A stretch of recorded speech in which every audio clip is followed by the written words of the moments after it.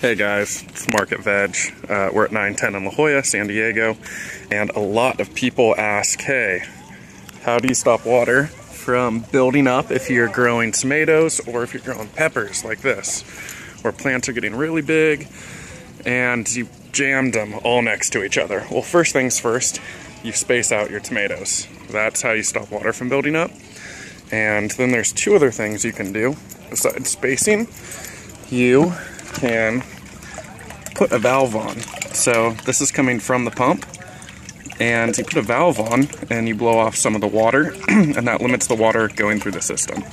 Second thing you can do is use a basic timer. So uh, those parts that are pushed in, that means it's on. Uh, if it's pulled up, I believe that is off. Um, yeah, that's how that's set. So that will let the water drain periodically throughout the day so it's not running 24 7.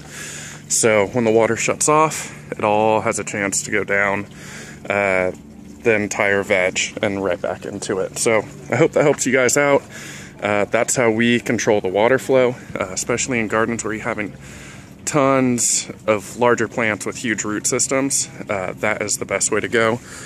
And just to show you guys, we have a blow off valve right there too, or I just call it a blow off valve. It's just like a purge valve basically. So that's limiting the water flow that's going up uh, to each one of these guys, uh, to the intakes.